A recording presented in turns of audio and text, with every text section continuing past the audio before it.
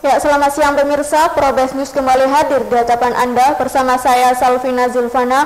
Berikut berita selengkapnya. Hujan deras yang mengguyur kawasan Singosari, Kabupaten Malang sejak Senin malam hingga Selasa dini hari membuat plengsengan dengan tinggi 10 meter dan panjang 10 meter longsor. Tak hanya plengsengan, longsor juga menyeret bangunan pos keamanan perumahan bumi Mondoro Raya berserta korban yakni Satpam bernama Rudi, 70 tahun, warga desa Watu Gede. Ketua RW 15 Desa Watu Gede, Pandu menyampaikan bahwa peristiwa terjadi pasca hujan deras. Korban yang sempat tertimbun material longsor berhasil diselamatkan oleh Kapolsek Singosari dengan kondisi luka-luka dan telah dievakuasi ke rumah sakit terdekat.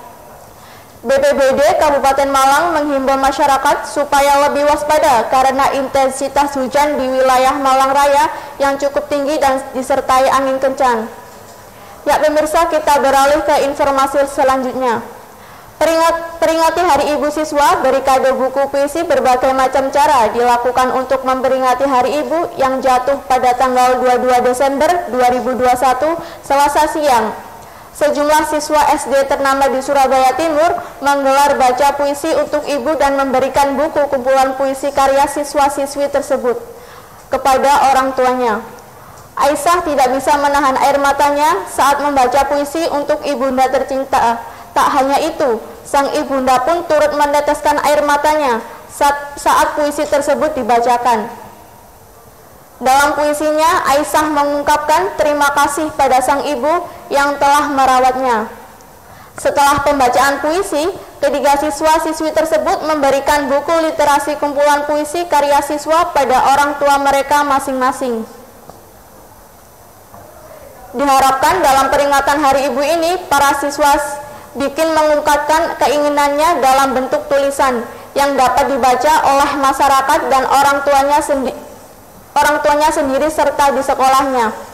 Pemirsa, demikian informasi yang saya yang dapat saya sampaikan. Saya Salvina Zulfana. Berikut saya Salvina Zulfana. Selamat jumpa dan selamat siang.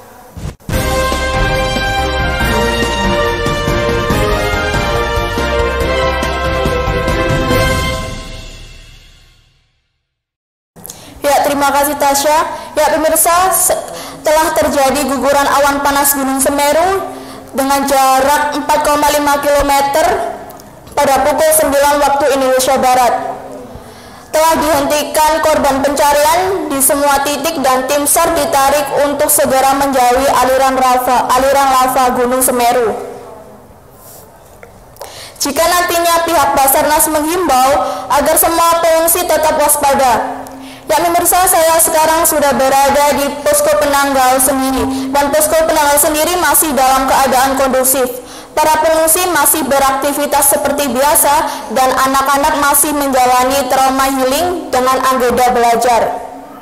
Distribusi logistik posko penanggal sendiri merupakan posko di mana pusat bantuan akan diberikan selama satu bulan di, ke depan. Baik pemerintah daerah maupun pemerintah pusat yang sebenarnya akan merelokasi di 2000 rumah warga yang akan direlokasi di lokasi baru di titik aman dari bencana Gunung Semeru. Demikian yang dapat saya sampaikan, saya Salvina Zilvana dari Lumajang melaporkan kembali ke studio.